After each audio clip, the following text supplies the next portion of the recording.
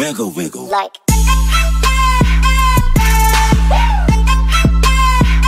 Wiggle, wiggle.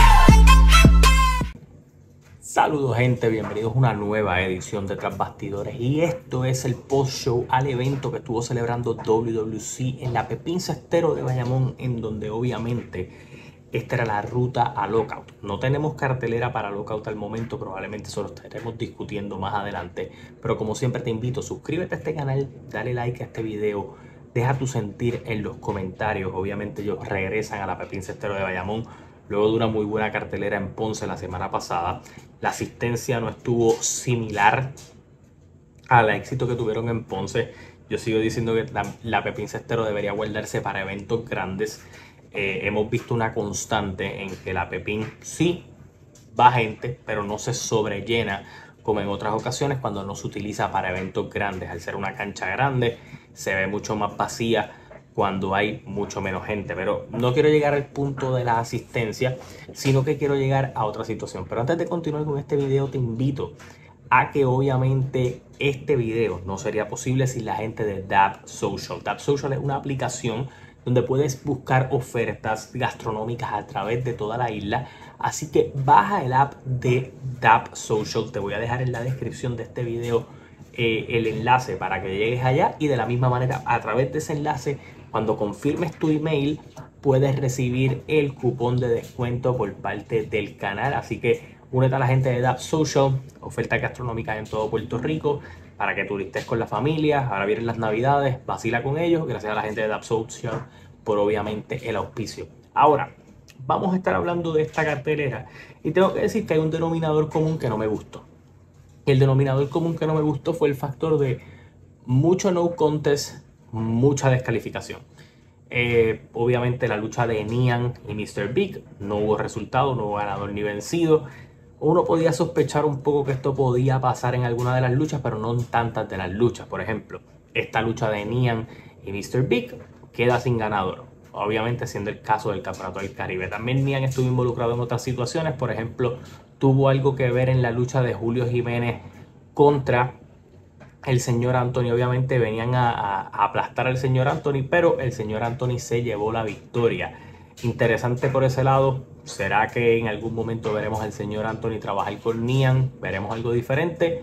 Eso me podría llamar la atención, eh, ¿verdad? Verlo tal vez subir un poquito más de nivel al señor Anthony para variar un poco lo que es este espacio en la cartelera. Por otro lado, tengo otra situación que no me encanta, pero que me tiene curioso de ver cómo la van a trabajar. Y es el factor de que tenemos otro campeonato que queda en el aire. Y por supuesto es el campeonato de la televisión. Tras la lucha de Mike Nice y Zion RT1 quedar fuera de control. El campeonato de la televisión queda congelado. Hace mucho tiempo que yo no escuchaba lo de congelar un campeonato, pero cuando venimos a ver el campeonato junior completo también quedó vacante hace varias semanas atrás. Se lo despojaron al señor Anthony del campeonato el campeonato quedó vacante. Ahora el campeonato de la televisión también queda de alguna manera vacante o congelado. Mientras esta guerra entre Mike Nice y Zion RT1 pues se controla, me parece un poco extraño que hayan tomado esta decisión tan pronto cuando Mike Nice acababa de ganar el campeonato de la televisión hace básicamente una semana en Ponce. Por otro lado, tenemos que hablar de la acción en pareja Chicano y Lightning eh, contra Intelecto y Gilbert. Otra lucha que se sale de control y termina sin ganador ni vencido. Me parece que vamos a seguir viendo una, un- una lucha más de esta gente. Sigo diciendo, esto puede ser un buen feudo, bien trabajado. Lo dije eh, durante la semana, me gustaría ver un feudo donde veamos segmentos entre ellos. eh, fuera del cuadrilátero. Eh, obviamente Big, Lightning y Chicano pueden sacarle mucho jugo a esto.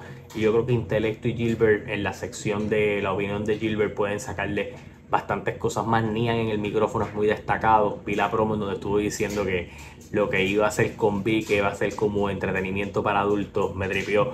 Eh, que tienes muchas cosas que puedes trabajar a, a futuro, pero en términos de lo que pasó en esta cartelera hubo muchas descalificaciones. Supongo que para trabajar revanchas que se van a estar materializando en Lockout. Pero pues, yo sé, tal vez pudo haber una manera más creativa de hacer ciertas cosas. El informante derrotó a Macabro, así que otra victoria importante para el informante. Luego de haber derrotado a JC Jex la semana pasada en Ponce. Ahora, vamos a movernos hacia otro lado y es que Stephanie Marvel retiene el campeonato ante Amazona Y en las redes sociales, esto lo estuve leyendo ¿verdad? más tarde durante la noche, eh, hace un escrito bastante corto y dice, me cansé, me voy para el carajo, otra vez lo mismo. Y obviamente supongo que se refiere a las trampas constantes entre los informantes y de la manera en que Stephanie Malver ha retenido el campeonato femenino. También salió un post, ¿verdad?, de que Akire quería una oportunidad por ese campeonato una vez regresara de sus compromisos en el en lo que es el levantamiento de pesas.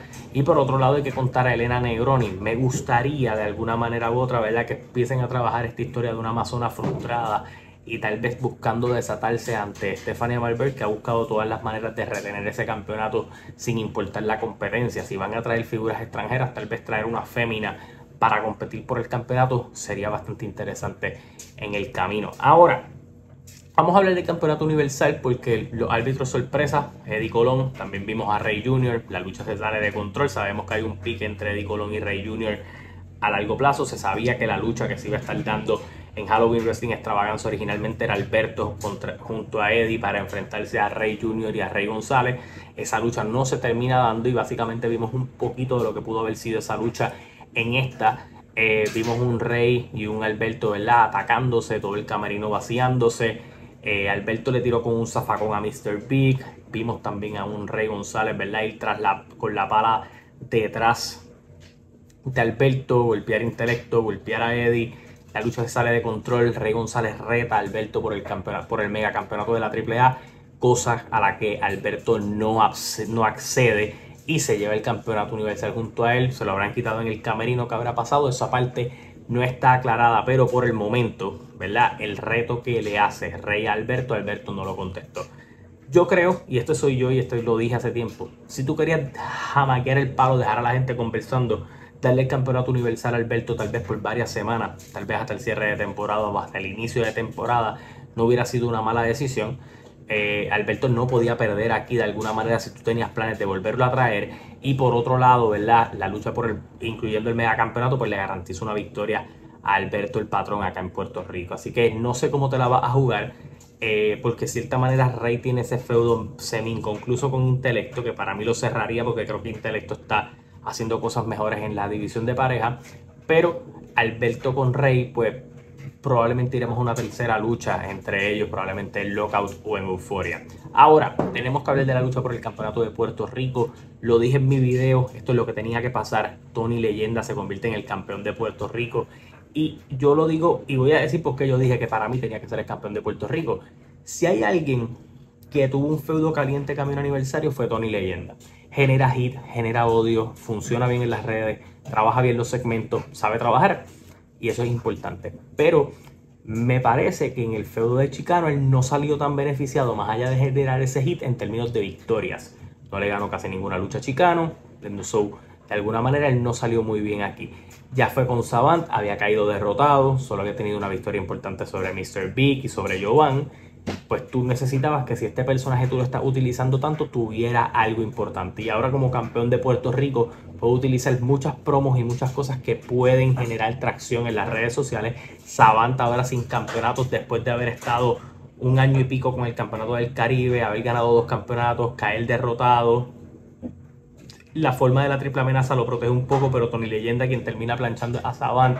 So, Juegas un poco con eso, pero Tony Leyenda con el campeonato de Puerto Rico puede ser oro si lo saben trabajar. Así que eh, al menos de todas las cosas que pasaron, lo más interesante, por lo menos para mí, es el factor de que Tony Leyenda es el nuevo campeón de Puerto Rico. Así que hay que estar pendiente a lo que publica WWC referente a la cartelera de Lockout. Vamos a tener una cartelera antes de Lockout. Lockout va a ser el cierre de temporada. ¿Cuándo va a ser? ¿Dónde va a ser? Eso obviamente lo vamos a estar eh, conversando aquí más adelante cuál va a ser la cartelera. Así que suscríbete a mi canal, campanita para notificaciones. Déjame saber tu opinión de lo que está pasando en WWC. Pendiente a mi canal y a Instagram, Facebook, YouTube y en todas las redes sociales para que te enteres de todo el contenido de la lucha libre en Puerto Rico y Estados Unidos. Gracias por el apoyo. Deja tu like. Hasta la próxima.